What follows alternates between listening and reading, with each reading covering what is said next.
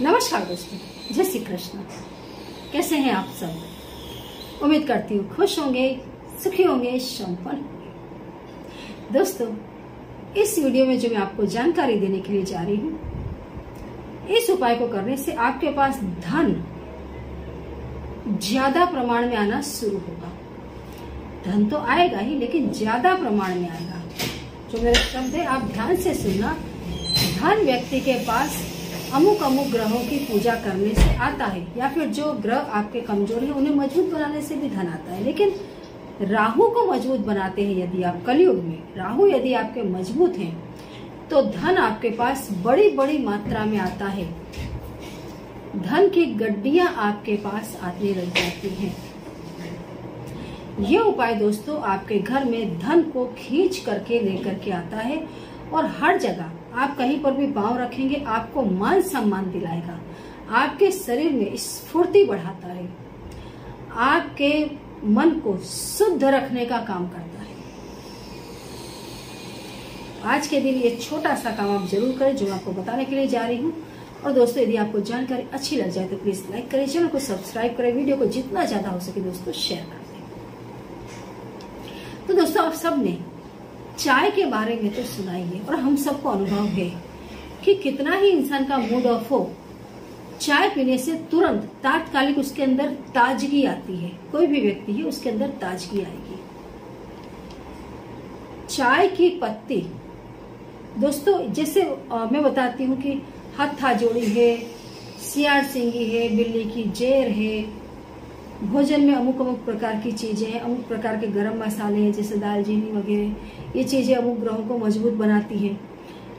ऐसे ही दोस्तों, जो चाय पत्ती है, ये भी इसके अंदर भी ज़बरदस्त औषधीय गुण है और ये इसके अंदर देविक शक्ति है, जो आपको तुरंत तरोताजा बनाती है। जैसे आप बैठे हैं, आपके ऊपर कोई गंगा जल छाट देता है अमुक नदी में स्नान आप करें। आप कितने ही बेचैन हैं। आपके मन में बेचैनी भरी है, आप डिप्रेशन में हैं। आप खड़े होकर के सिर से पानी डालना शुरू करें, स्नान कर लें।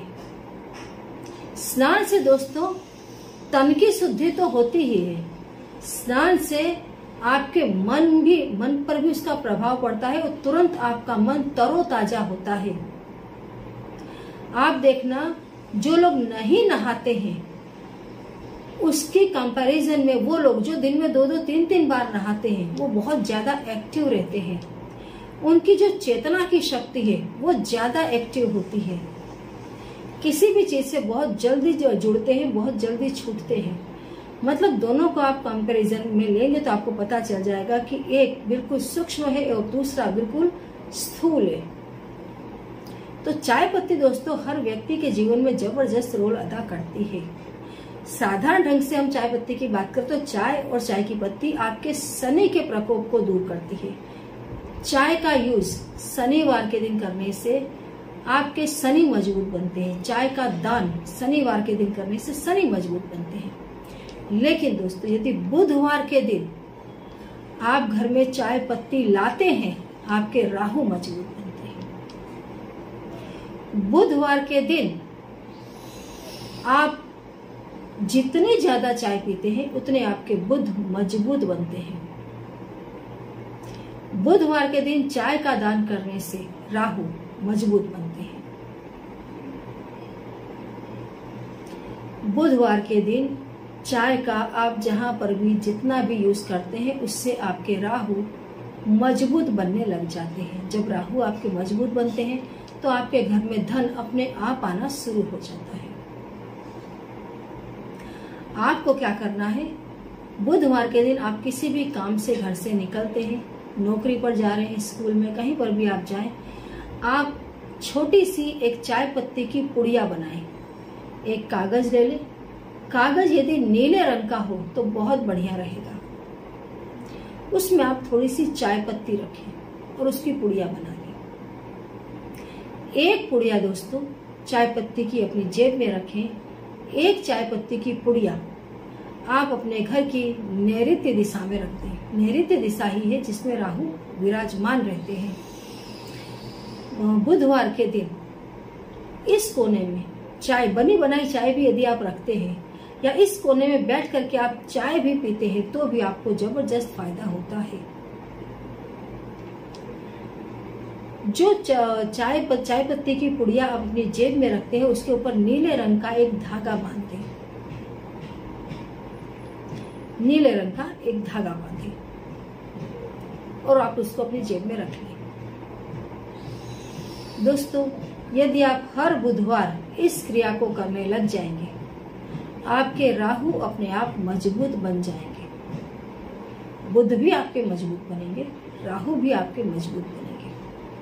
बुधवार के दिन चाय की पत्ती अपने साथ रखने से, अपनी जेब में रखने से, जहाँ आपके नौकरी धंधे हैं, वहाँ पर चाय पत्ती रखने से, या फिर जहाँ आपकी आपकी ऑफ़िस है, जहाँ बैठकर आप काम करते हैं, वहाँ पर आप चाय पत्ती नहीं भी रखें तो थोड़ी सी चाय पत्ती को ज़मीन में बिखेर दें। बुधवार के दिन, और उसको पूरा दिन पड़ी रहने दें, दूसरे दिन आप उसको उठा करके बाहर फेंके।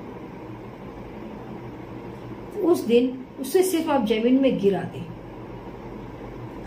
आज के दिन आप, आपकी जहाँ ऑफ़िस से जहाँ बैठकर आप काम काज कर रहे हैं, वहाँ चाय की पत्ती रखने से, चाय पत्ती ज़मीन में बिखेर देने से, या चाय पत्ती जेब में रखने से, चाय पत्ती ड्रॉर में रखने से दोस्तों, कोई भी इसमें से आप एक भी काम करेंगे, आपके घर में धन अतुलित मात्रा में आना शुरू होगा। फिर ऐसा नहीं कि आपने आज यहाँ, ऐसा भी नहीं है कि नहीं ही होगा।